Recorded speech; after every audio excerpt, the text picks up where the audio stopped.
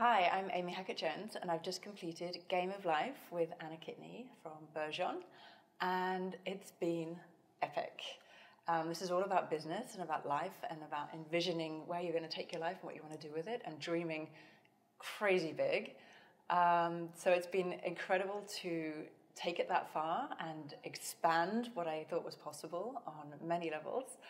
Um, and I also got a massive breakthrough. I've been doing this work for some time, um, coaching and that sort of thing, and I started theta about five or six months ago.